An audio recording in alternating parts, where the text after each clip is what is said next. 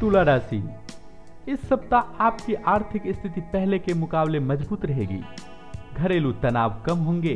विद्यार्थी वर्ग कुछ तनाव में रहेगा। रुके हुए कार्यों में प्रगति होगी।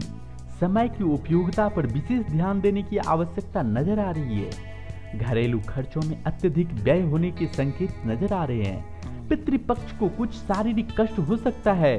अपनों के प्रति सहयोग व सहानुभूति रहेगी। महिलाओं को जीविका के क्षेत्र में काफ़ी संघर्ष करना पड़ सकता है।